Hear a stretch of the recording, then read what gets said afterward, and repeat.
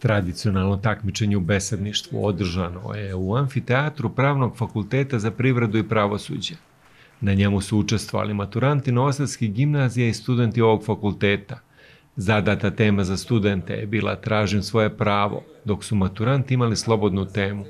13. put ove godine držimo vatru i borimo se da živa reč ostane među ljudima, ostane među nama, pogotovo među nama pravnicima i mislim da na neki način pravni fakultet polako postaje prepoznat po tome da nam je besedništvo i retorika u fokusu našeg rada, u fokusu rada sa našim studentima.